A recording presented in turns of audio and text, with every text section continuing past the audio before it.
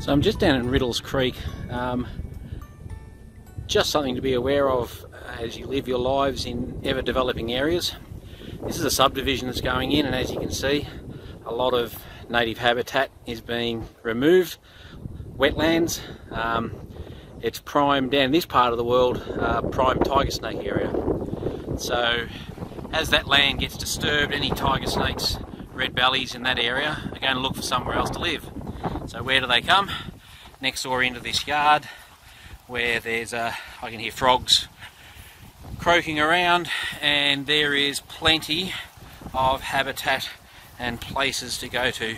Now we all have clutter and this is a shed that we're pulling down at the moment so you know there's a bit of extra stuff laying around here so I'm not having a crack at the house owners by any means but um, just be aware that if that's happening near your house then this is going to be where Mr. Tiger Snake, Mr. Eastern Brown and Mr. Red Belly is going to make an appearance.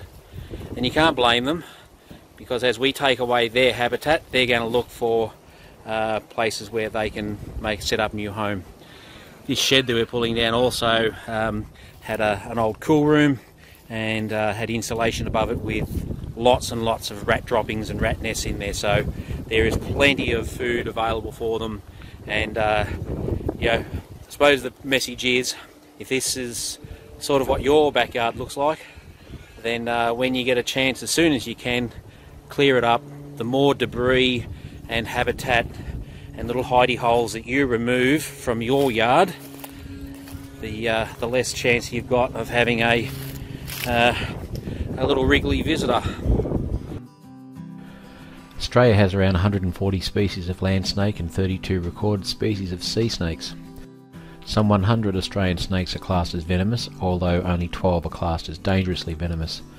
These are the most commonly encountered species.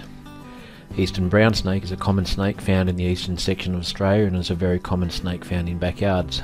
They have adapted to living in residential areas as they hunt their favourite meal, rats and mice, which are always to be found around houses.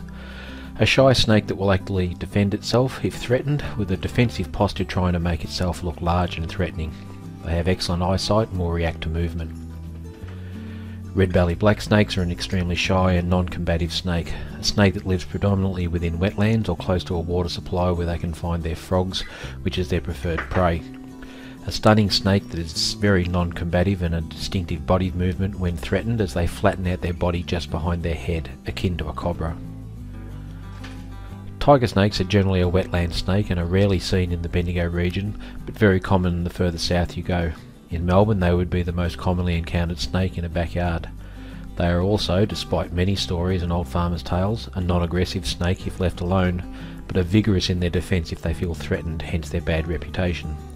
They also will flatten their body out in a threat display which is a good indication to give it some room. There are also two copperhead species that are commonly encountered the lowlands and the highlands copperhead. The lowlands is a snake very common around the southern areas of Victoria and often found in Melbourne backyards. The highlands is found in more alpine regions and is a snake that can also survive freezing conditions quite well. Like the red belly black they are also shy and reclusive snakes that are non-combative unless threatened. The coastal taipan is a snake endemic to the northern New South Wales, Queensland, Northern Northern Territory and northern Western Australia. An extremely fast and agile snake, they are also known for a very aggressive defensive display if threatened.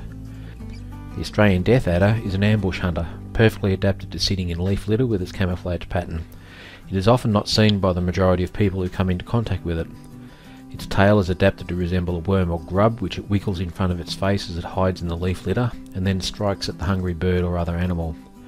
Having the fastest recording strike of any snake in the world, it's a fast hitter. The mulga, or king brown, a big chunky venomous snake, erroneously labelled a brown snake as it is actually a black snake and more closely related to the red belly black rather than the eastern brown. As with all of our elapid or front-fanged venomous snakes, it will always prefer to retreat and hide than to force a confrontation. The mulga or king brown is also not encountered in Victoria and is not endemic to the area. Oftentimes large eastern browns are referred to as king browns, but they are in fact two different species.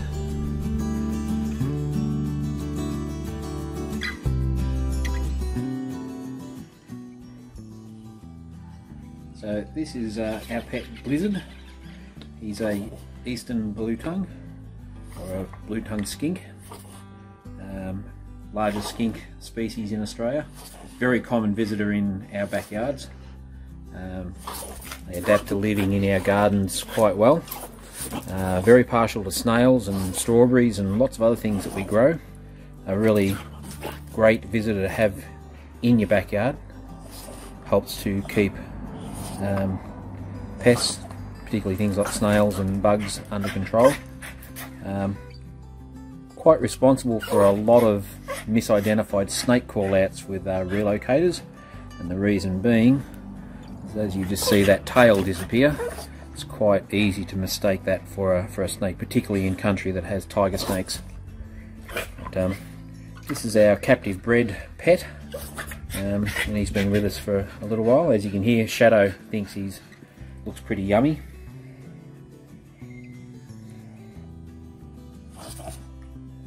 But, uh, they're very placid, uh, generally non-aggressive.